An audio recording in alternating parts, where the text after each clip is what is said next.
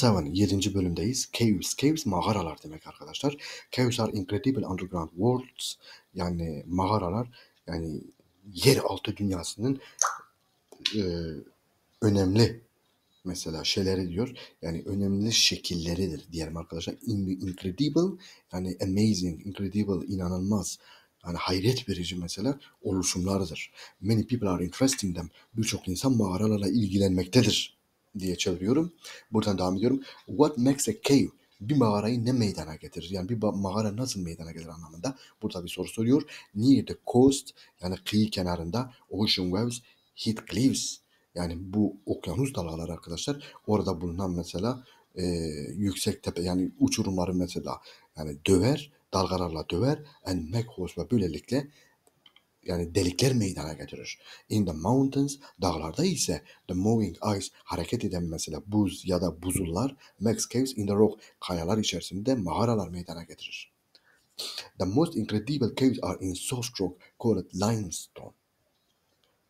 Yani oldukça mesela hayret verici olan yani en hayret verici mesela mağaralar genellikle yumuşak kaya çeşidi olan limestone çeşidinde bulunmaktadır. Rain falls on the limestone yani yağmur bu limestone denilen kaya çeşidi üzerine yağar and makes hole ve delikler açar. Slowly yavaşça the holes grow bigger. Bu delikler za- zaman içerisinde büyür and make caves ve mağaralar meydana getirir.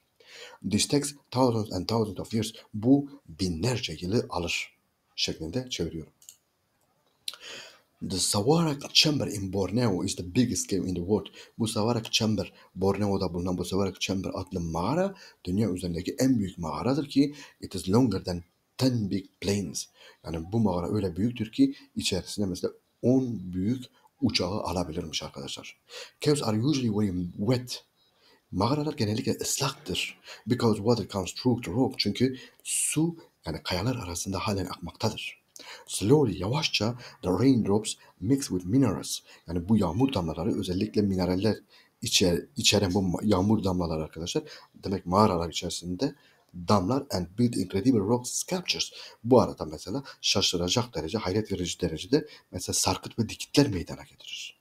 Called stalactites and stalagmites. Yani bunlar sarkıt ve dikit anlamında arkadaşlar böyle kelimeler de gördük. Bunları meydana getirir. Thousands of years ago, binlerce yıl önce people lived in caves. İnsanlar mağaralarda yaşarmış. They didn't have books or paper. Yani bu insanların mesela kitapları ve sayfaları yani kağıtları yokmuş. So they drew pictures on the cave walls. Bu, bu nedenle onlar mesela bu mağara duvarlarına mesela resimler yaparak iletişim kurarlarmış. People drew this picture in a cave in France.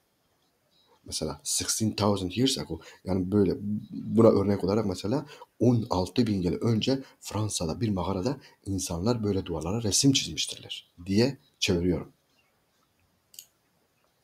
Chapter 8 bunu da başka bir bölümde anlatmaya çalışacağım arkadaşlar. Böyle kitaplar okuduğumuzda dikkat ederseniz yani farklı konular, farklı kelimeler mesela öğreniyoruz. Bu da bizim mesela bu dil hakkında farklı kelimelerle yani farklı kelimeleri de öğrenmemize neden oluyor. Demek oluyor ki yani okuma alışkanlığımızı da farklı kitaplar üzerinde geliştirmemiz lazım. Değerli arkadaşlar devam ediyorum. Bir sonraki okumamızın başlığı Earthquakes and Tsunamis. Yani depremler ve tsunamiler. Evet. Tekrar görüşmek dileğiyle.